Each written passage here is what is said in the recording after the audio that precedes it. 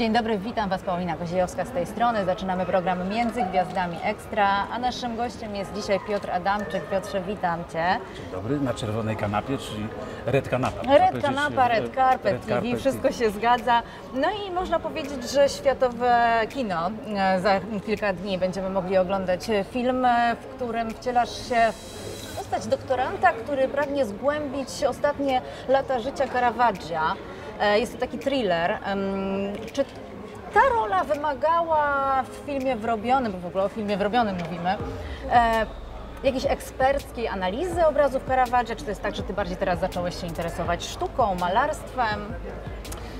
Ten film związany z Włochami, e, bo też tam kręciliśmy, więc blisko było do tych dzieł Caravaggia i, i, i fajny pretekst, przygotowując się do roli, można troszkę pozwiedzać Rzym i jest kilka takich miejsc, gdzie te obrazy Caravaggia można podziwiać, między innymi pamiętam jest taki kościół niedaleko Panteonu,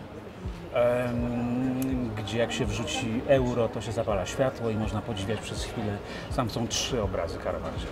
To wyjątkowy malarz i faktycznie ja się tym malarzem zainteresowałem wcześniej, bo to jest taki, myślę, że popularny dosyć malarz. Jego życiorys był y, ciekawy, ale nasz film od jego życiorysie nie opowiada. No nie, no to jest To thriller. jest, to jest historia e, właśnie takiego niezwykłego frika, e, człowieka oddanego e, malarstwu Caravaggia, doktoranta, który dostaje krótkie stypendium, na kilka dni ma pojechać do Porto Ercole, miasteczka, w którym e, Caravaggio zginął, czy właściwie zmarł. E, Ciekawy, wiesz, mam nadzieję, że ktoś też zrobi taki film Caravaggio. bo To, to, co odkrywa mój bohater, jest też filmową historią, niewątpliwie, ale on tam wpada, ten mój bohater, który ma na imię Dominik, na trop ym, takiej szajki fałszerzy sztuki. No i sam z takiego zwykłego badacza, naukowca, no, robi się jakimś takim, mm, no, za- zamieszany jest w kryminalną historię. Dominiku, mam dla pana delegację do Toskanii. Our university invests in talents like yours. This honors us. Everything will be fine. You don't have to worry about anything. Now, the real question is this why Caravaggio not make it to Rome? And what happened to the paintings of that time? To jest tak, że jak Ty grasz w kilku językach w jednym filmie, to jest to trudniejsze zadanie, bo mówi się, że jak zaczynasz mówić w innym języku, to jesteś trochę inną osobą. Czy tak samo jest w przypadku aktora? Bo mówisz tam po włosku, po angielsku i, i po Tak się polsku. zastanawiam właśnie, to, to ciekawe pytanie. Faktycznie, kiedy mówimy w innym języku, to troszkę odbijamy się pewnie, nie to, że jesteśmy inną osobą, wydaje mi się, że od- od- odbijamy się od innego momentu w naszym życiu. Czyli od tego momentu, w którym chłonęliśmy ten y, y, język najgłębiej. Tak mi się wydaje. E, W, w, w przypadku, kiedy się gra rolę, w obcym języku, no to to są. Ja tam faktycznie miałem kilka pewnie jakichś scen troszkę po włosku, ale było, było mi łatwo, bo wokół mnie byli także włoscy aktorzy, którzy mogli mi pomóc w każdej chwili. Ale właśnie jak Ty wybierasz teraz filmy, no bo to jest polska produkcja, e, ale tak jak powiedziałam, zrobiona z zagranicznym rozmachem. Międzynarodowi aktorzy światowej klasy aktor Luca Calvani gra tutaj. Czy właśnie Ty się tym kierujesz teraz wybierając polskie filmy? To, że ten film ma premierę teraz, nie znaczy, że to jest, y, że, że, że myśmy go niedawno skończyli, ale zaczęliśmy ten film robić już dosyć dawno. Kiedy? Więc to jeszcze, jeszcze nawet mi się nie śniło, że, że będę coś grał w, Stanach Zjednoczonych. Y, ale teraz, fakt, jeżeli pytasz mnie o to, co mam teraz i jak, czym się kieruję wybierając, tak naprawdę nie mam żadnego problemu z wyborem y, y, propozycji z Polski, bo nie mam, dostałem żadnych.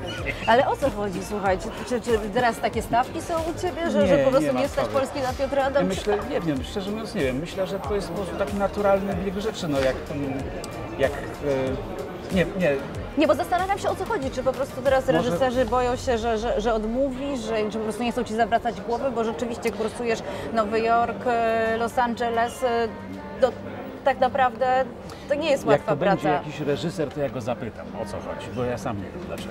Y, Ale, ale, Ale mówisz poważnie, czy to jest żart teraz, że nie to, dostałeś mam- przez te półtora roku żadnej propozycji, jeżeli chodzi o Znaczy polskie ja kino? dlatego gram też w Stanach, bo, bo tutaj mm, jakoś pandemia przerwała bardzo wiele rzeczy i produkcji. Tak się jakoś ułożyło, a, a że w, w Stanach się, że tak los zupełnie od- odwrócił, bo, bo tam faktycznie udało mi się w ciągu tam roku, półtora zagrać w trzech różnych produkcjach serialowych, to takich fajnych. E, to mam też no, taką radochę z tego, że te role są też takie troszkę, mm, może nie z, właśnie nie z tej samej szuflady, tylko, tylko z zupełnie innych e, miejsc. No właśnie, bo... Nie wiem, czy bym e, dostał takie propozycje w Powiem Polsce. Ci, ja oglądałam e, Kryptonim Polska, e, bo już niedługo premiera tego filmu i Borys Szyc wciela się tam w rolę tego złego, e, takiego naziola i tak sobie właśnie myślałam nawet wczoraj, dlaczego Piotra Adamczyka nie widzimy w tych rolach złych, a tutaj się okazuje, że na przykład w filmie Noc, serialu Nocne Niebo możemy zobaczyć e, ten czarny charakter, jeśli chodzi o Ciebie, więc... Ty, nie, ty może nie proponowałeś takich ról, czy odmawiałeś te, te, te, te, te role tego złego? Bo w czasie Ja- honoru chyba można było Cię tylko zobaczyć Też można takiej- powiedzieć, że byłem naziolem, prawda? Tak. Tylko trochę takim z, tamtego czasu. E, w czasie honoru tak, to była taka rola, którą pamiętam, jedna pewnie z moich ulubionych. y, mm, I Borys Szyc też ze mną grał w, w podobnym kostiumie, razem byliśmy oficerami SS. Nie, ja nie, ja raczej szczerze mówiąc, jak sobie przypominam, ja rzadko odmawiam e, ról, a na pewno, e, na pewno nie odmawiam nawet ryzykownych, że tak powiem, wyborów, odważnych wyborów, w momencie, kiedy właśnie ta, te role są zaskakujące. Że dla mnie taką, takim wymiernikiem tego, czy rola jest interesująca, jest to, czy to jest coś, co ja już dotk- czego dotknąłem, czy to jest coś kompletnie nowego. Więc jak jest coś kompletnie nowego, to jest dla mnie zachęta e, e, wyjątkowa. Żeby to był nie niski budżet, nieznany reżyser i, e, i ciężka jakaś praca, to wybiorę to e, mm, w zamian, a, a, a, a, właściwie łatwiej mi jest odmówić kolejnej roli, którą już, która się przejadła i widzą. podstarzałego playboya, jak to powiedziałeś w jednym z wywiadów, tak? Tak, no to coraz bardziej podstarzałe.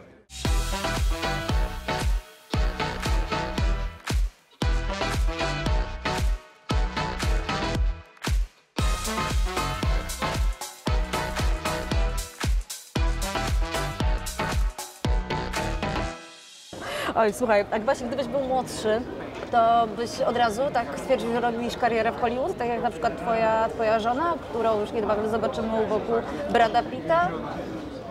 Bo co jej radzisz na przykład, że zacznie od Polski, czy, czy, czy zacznie nie, właśnie nic, od... Nic jej nie radzę i Mhm. w ogóle jakoś mam, z daleki jestem od rad, bo myślę, że, że każda nasza droga zawodowa, y, każdy nasz życiorys, no, sami jesteśmy, jak to się mówi, kowalami swojego losu, więc to, to musimy sami podejmować decyzje, a rady, rady są niebezpieczne, bo każdy z nas jest inny i tak naprawdę musi wziąć odpowiedzialność za własne wybory. A co ty byś Więc zrobił? to, co jak, jakby, ja jak byłem młody, ja dostawałem wielokrotnie szanse od losu i y, właśnie w postaci takiej, takich międzynarodowych możliwości. Y, I wykorzystywałem to na swój sposób, Ym, natomiast no, też po, podjąłem wiele wyborów, których nie żałuję. Y, Kiedy film o papieżu stał się takim bardzo popularnym kinem światowym, dostawałem te telefony z, z agencji w Stanach, ale jakoś mi nie było po drodze, bo to wtedy testosteron, bo to mnóstwo, mnóstwo pracy tu. Em, ale to nie żałuję tego. To były po prostu decyzje podjęte wtedy. No ja nie chciałbym teraz siedzieć tutaj na tej czerwonej kanapie i na przykład nie mieć w pamięci filmu Testosteron. Em, Ja też bym nie chciała Prawda? siedzieć na tej czerwonej kanapie, nie mając Ciebie w pamięci w tym filmie, albo Karol na przykład. Wow! To nie było tak, że Ty sobie sam wykreowałeś to, swoją karierę, bo niektórzy, czy to aktorzy, czy, czy, czy piosenkarze, artyści, sobie tak projektują swoją karierę. Są, że najpierw zrobię to, potem to, tak? Czyli to nie było tak, że Ty stwierdziłeś, najpierw osiągnę to, co mogłem osiągnąć w Polsce i pójdę poza granicę naszego kraju? Czy to był przypadek, że właśnie pandemia się pojawiła? Co, trudno mi jest to ocenić. No, Myślę, że przypadki bardzo wpływają na nasze życie, plany także. Myślę, że jakaś taka konsekwencja. Ja zawsze chciałem grać za granicą i tak naprawdę, mimo że się o tym nie mówiło wcześniej, no to ja grałem w bardzo wielu filmach. W Portugalii, w takiej, w takiej super produkcji portugalskiej, tam najczęściej do, e, do kin, kiedy jest rekord kinowy, to przychodzi najwyżej 300 tysięcy widzów i to już jest sukces, a, a, e, więc te budżety także są niskie, a tymczasem to była super produkcja, bo tam chyba 3 miliony dolarów zebrali na ten, na ten film. I, I można powiedzieć, że robiłem zastępstwo za e, Colina Firtha, więc, e, więc to, być może byłem po prostu em, odpowiedni do budżetu. Jesus, man. If something happens to me, I want you to know that I found this abandoned pink house. Somebody's coming.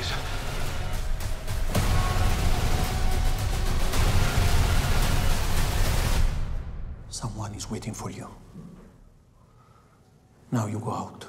Se qualcuno ti chiede, asks tu a me. Bam!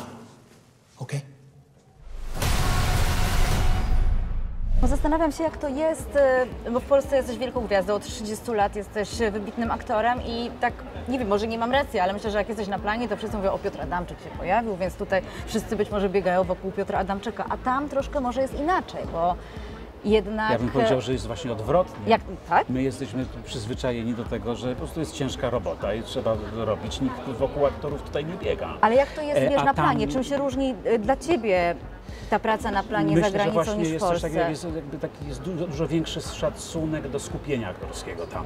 Że jakby cała ekipa dokładnie wie, że to, co najważniejsze dla, na ekranie, to jest to, co się tam gdzieś buzuje w emocjach. U nas często mm, śmiejemy się z kolegami i koleżankami, aktorami, aktorkami, że często jest coś takiego, kiedy się